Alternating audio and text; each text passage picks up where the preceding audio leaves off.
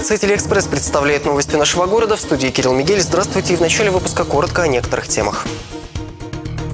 Будьте внимательны, на Ямале объявлено штормовое предупреждение. Финансовая поддержка. В День пожилого человека пенсионеры получат дополнительную выплату. И график изменен. Сегодня некоторые автобусы стали ходить по-новому. Итак, на Ямале объявлено штормовое предупреждение. Округ накроет метели, мокрый снег. Сотрудники МЧС рекомендуют всем муниципалитетам подготовить службу ЖКХ к устранению возможных повреждений. Сегодня в регионе ожидается усиление ветра до 12 метров в секунду, порывами до 17. Ночью столбик термометра опустится до минус 5 градусов. На дорогах местами гололед. Между тем, к предстоящим холодам Ноябрьск готов. Перейти на зимний график работы планируют коммунальные службы и управляющие компании. В «Энергогаз Ноябрьске» уже сегодня введена зимняя схема теплоснабжения. Запущена еще одна котельная, которая возьмет на себя часть нагрузки. Кроме того, сегодня же ресурсоснабжающая компания подключила отопление в одной из новостроек 8 микрорайона. Об этом говорили на заседании Совета директоров администрации города. Первый замглавы администрации Андрей Касьяненко отметил, что коль уж синоптики предупредили о возможном ухудшении погоды, сильном ветре и гололедица, необходимо всем оперативно реагировать на ситуацию. Дорожники заверили, что объем песка уже заготовлен. В любой момент на линию готовы выйти 5 КАМАЗов пескоразбрасывателей.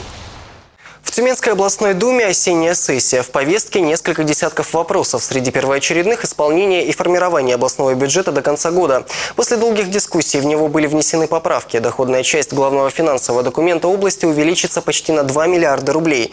Все без исключения целевые программы продолжат свою работу. Говорили депутаты и о поддержке предпринимательства. Народные избранники предлагают увеличить рассрочку за пользование госимуществом для бизнесменов с 3 до 5 лет.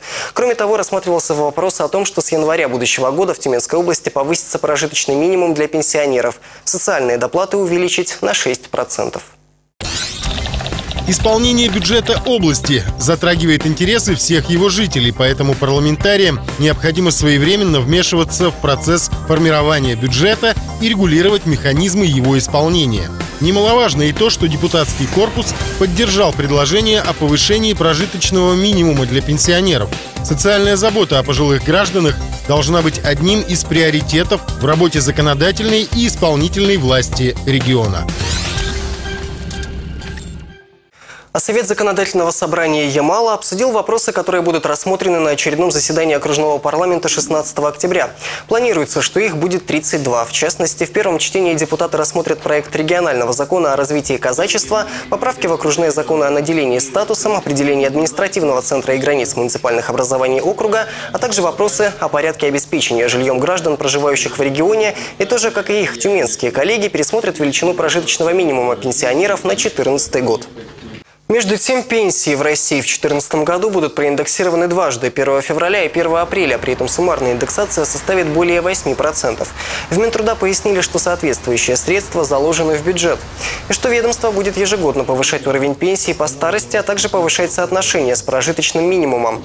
По словам министра, это приведет к тому, что Минтруд выйдет на ранее планируемые показатели, по которому пенсия к 2018 году должна равняться двум прожиточным минимумам пенсионеров. И еще одна приятная новость для людей в возрасте. Ко дню пожилого человека, который отмечается сегодня, все мужчины, достигшие 65 лет и женщины, достигшие 60-летнего возраста и старше, получат единовременные выплаты. Сумма составит 1000 рублей и будет начислена в беззаявительном порядке. То есть собирать какие-либо документы не надо. Деньги Управление социальной защиты самостоятельно перечислят на счета получателей. В общей сложности выплаты предназначена для 7065 человек. На эти цели из окружного бюджета выделено 7 7 миллионов 65 тысяч рублей. Сумма материальной помощи ко дню пожилого человека не изменяется, она составляет тысячу рублей, а вот количество получателей ежегодно растет. Если мы посмотрим, что в 2006 году было 3466 получателей, то на сегодняшний момент назначено 7065 пожилым людям выплата. Примеру, за 2010 год было получателей 5039, за 2011 5678, за 2012 год 6503 человека. Три четверти россиян до пенсионного возраста информированы о программе государственного софинансирования пенсии, но вспомнили, что подали заявление на участие в ней всего 6%. Такие данные приводит Фонд общественного мнения.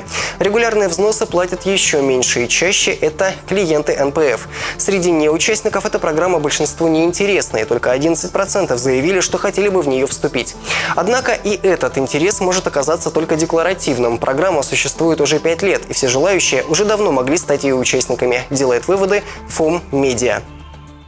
В России выросла зарплата бюджетников. С 1 октября рост составит 5,5%, передает телеканал «Россия-24». Повышение коснется учителей, врачей, а также сотрудников федеральных казенных учреждений и федеральных госорганов. Кроме того, зарплата стала больше у гражданского персонала воинских частей. На те же 5,5% выросла зарплата судей. Повышение не потребует дополнительного финансирования, поскольку затраты были изначально заложены в бюджет. Городское добровольческое объединение «Луч» объявило о начале новой акции. Она пройдет в рамках программы «Доступная среда». Ее цель – помочь людям с ограниченными возможностями здоровья. Добровольцы помогут инвалидам в мелком ремонте на дому. Например, если у человека сломан пандус или мешает порог при входе в квартиру, участники акции исправят неудобства. Те, кому нужна помощь, могут оставить заявку в добровольческом объединении «Луч» или по телефону 30 05 73. Городские автобусы будут ходить чаще. Пассажирские перевозки сегодня переходят на зимний график работы. Изменения касаются пяти городских маршрутов – 1, 1А, тройки, восьмерки и 17 -го. На каждой из них была выведена по одной дополнительной единице техники, так что в рабочие дни время ожидания этих автобусов заметно сократится. К примеру, на промзону общественный транспорт будет ходить с интервалом примерно в полчаса, а не в час, как это было ранее. Перерывы в движении наиболее востребованных маршрутов восьмерки и тройки сократятся на 4-5 минут и составят 17-18 17 минут. Дополнительные рейсы будут ходить и в микрорайон Вангапуровский. Добавлю уточнить информацию, люди могут в диспетчерской службе пассажирских перевозок по телефону 35 46 62.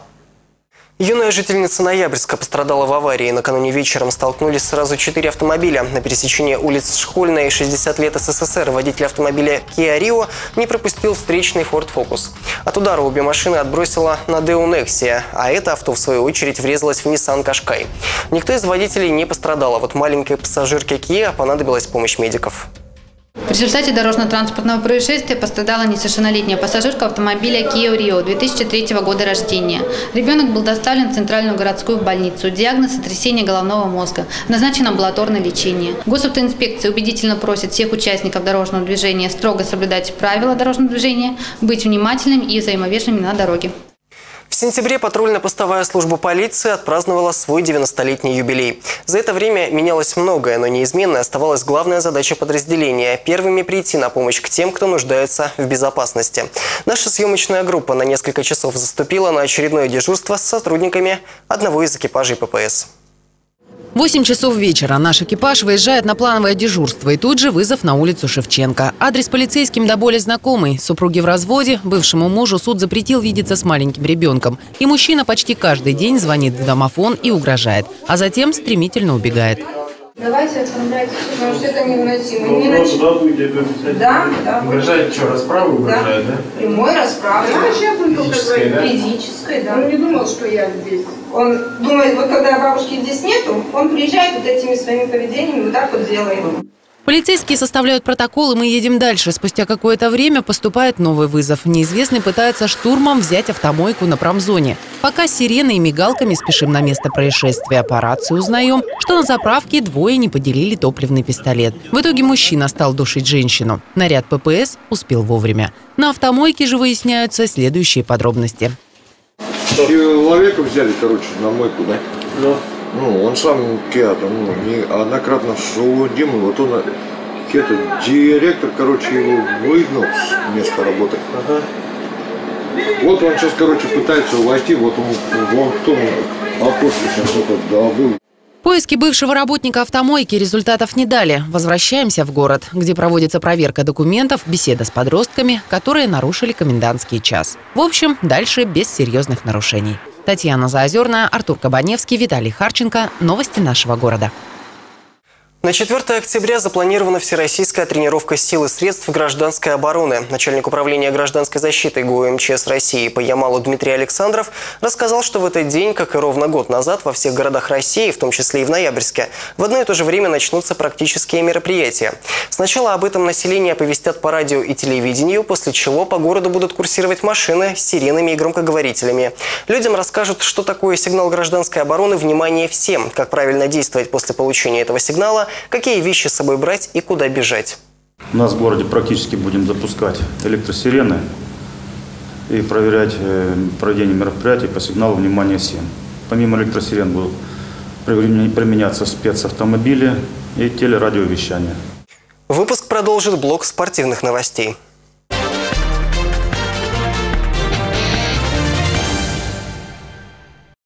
Сегодня питерский «Зенит» в рамках второго тура группового этапа Лиги чемпионов УЕФА примет на своем поле австрийскую Австрию. В предстоящем противостоянии наибольшие шансы на успех, согласно статистике, имеет «Зенит». В пяти последних матчах на европейской арене клуб одержал четыре победы. Тем не менее, в самом престижном футбольном турнире Старого Света питерцы стартовали с поражения. Россияне на выезде уступили мадридскому «Атлетико» 1-3. Собственно, с проигрыша португальскому «Порту» 0-1 начали и австрийцы. Добавлю, очная встреча между «Зенитом» и командой из Австрии начнется в 20.00 по Москве. В бассейне Ямала прошло лично командное первенство по плаванию среди структурных подразделений «Газпромнефть» Ноябрьско-нефтегаза. В эстафете приняли участие по трое мужчин и одна женщина от каждой команды. Они соревновались на дистанциях 50 и 25 метров соответственно. В итоге первое место завоевала команда ЦДНГ номер 7. Вторыми пришли пловцы ЦППН номер 1. На почетном третьем месте команда аппарата управления. И это была завершающая информация выпуска. Впереди вас ждет прогноз погоды на завтра. Я желаю вам всего доброго и до свидания.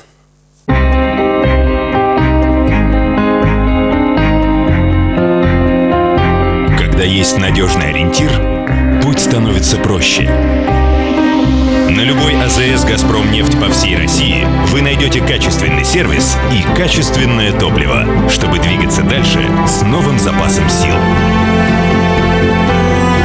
Сеть АЗС «Газпром нефть». Надежный ориентир.